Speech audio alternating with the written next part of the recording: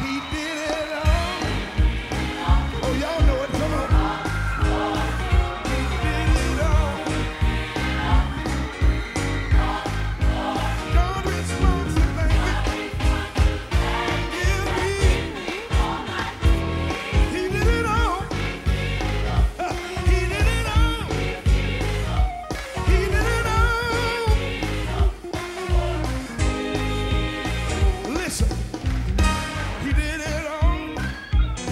and I thank them in advance.